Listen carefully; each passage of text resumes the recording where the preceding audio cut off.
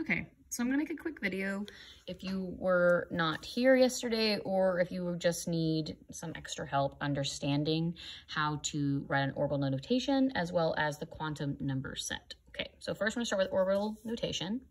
I'm gonna do cobalt and silicon just kind of as review. I know some of you made it here yesterday, but some of you weren't here yesterday and some of you didn't get it correct. So let's go over it. So cobalt is right here, okay? Everything that my finger touches, I need to write down. And I always start at 1s and fill them until I hit the element I'm looking for, which in this case is cobalt. So I'm gonna start at 1s, 1s, 2 is filled. So I write down 1s.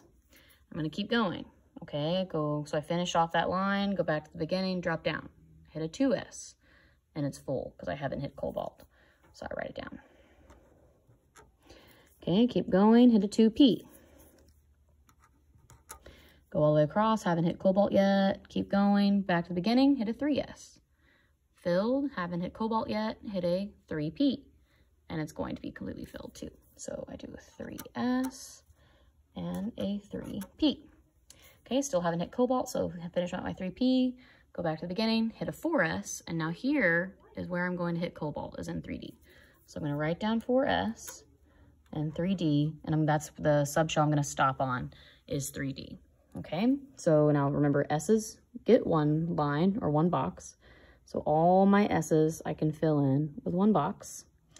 P's get three, because there's three ways to, or three different types of peanut orbitals, X, Y, and Z plane. So each of the P's will have three lines that can hold two electrons each.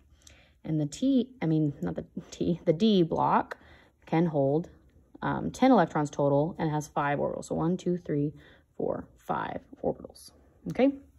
Now, basically, they're all going to be filled up. So you can just completely fill them until you get to the end. So I'm not going to fill up 3D yet because I need to go back and see how many it actually fills to. But everything below my ending orbital has to be filled says off Aufbau's rule. It would fill all lower energy levels first. I'm to do up and down arrows. Remember, you can make it a full arrow like that if you just prefer the way it looks. I'm just honestly kind of being lazy and making it just a half arrow like that. So we filled? And remember, technically, the P's are filled by putting one in each orbital first and then pairing it. But being that I know it's filled, I can just, I just go up, down, up, down. Okay, now here's where we actually have to think about it on 3D. How to know how many arrows to put in it is just you count from beginning of the D block, one, two, three, four, five, six, seven. It's seven over is cobalt. So it needs seven electrons in the 3D block. We always put one in each box before pairing it. So it's gonna one, two, three, four, five. We also always do up arrows first. So five, six, seven. That's all I had because it was one, two, three, four, five, six, seven over. That's how many electrons I could put in it. So this is the finished orbital notation for cobalt. Okay, let's do silicon, and then I'll go back and do the quantum sets. Okay, so silicon is actually not as far. It's up here. There we go. Okay, so again, I start back at the front, and I write down everything my finger touches until I get to silicon. So 1s filled, 2S filled. 1S, 2S. Still haven't hit silicon, so I keep going. Hit a 2P. It's going to be filled because I haven't hit silicon yet. So 2P.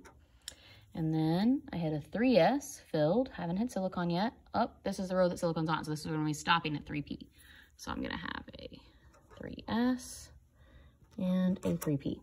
So now, now that I have it all written down, that it ends in 3P, I just add the right number of boxes. So S's always get one box, because there's only one type of orbital, only one sphere. And the P's have three different types of orbitals, X, Y, and the Z-plane peanut. So there we go. That should have more of a break in it, okay? Now I know, because of Aufbau's rule, that it says everything is going to be filled, all lower energy levels will be filled first before I get to the end. So I'm just going to go ahead and fill them up. I'll show you how to, the right way to fill them like that. So putting one in each box first. But either way, it ends up being filled. And then I have to think about it at the end. So silicon is only one, two over. I never would pair it. So like I wouldn't ever go like this to be two. I wouldn't pair them before, um, before I had to. So this would not be right. It would end up like. That's silicon. That's done. I had a lot of people ask me yesterday if it's okay to have an empty box. Yes, that's just, that's how many electrons a silicon has. I can always check it by counting because the arrows stand for electrons. 1, 2, 3, 4, 5, 6, 7, 8, 9, 10, 11, 12, 13, 14. And silicon is number 14. It has 14 electrons. Okay, now let's go back and do the quantum set for those two and make sure you know how to use your little quantum paper. There should be an easier place to put it. Me fold it. So it takes up less space. Okay, there we go. Now, always start at the top. And it says the principal quantum number, so the number right first, stands for the um, energy levels. So I always look at my last electron. So I'm going to go find my last electron. In cobalt's case, this was the last electron I wrote down. So the highest energy level of the last electron I wrote down is 3. So my first number in my quantum set will be 3. Then I go to subsidiary quantum number, and it says it stands for shape. So my last electron was in a D shape. D's get a 2. Okay.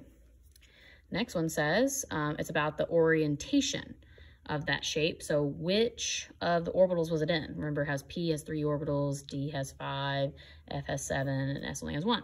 Okay, so this one happens to be in a D block. So there's five choices, but it's in the second orbital.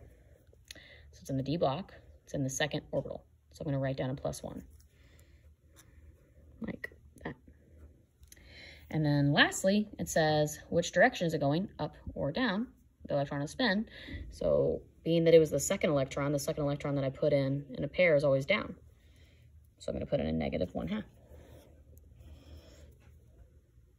Negative one half. Getting kind of hard to hold the phone.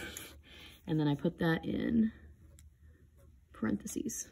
And there we go. That's the quantum set for cobalt. Okay, let's do um, silicon now. All right, so again, I care about the last electron that I put. So that would be this one. That's the last electron that I put in there. So again, you start at the principal quantum number, which is the energy level. So the energy level of my last electron is a three again. Oops. Okay, and then it says to do the shape. Okay, so it ended in a P, so P gets a one. Boop. And then says what um, orbital is it in? So in this case, it's in the second orbital of the p block. So second one, it gets a zero. Okay. And then lastly, is it going up or down? Well, this was not a paired, so it's going up still. So it gets a plus one half, plus one half. And then I put it in parentheses. And that's how you do those two. Okay.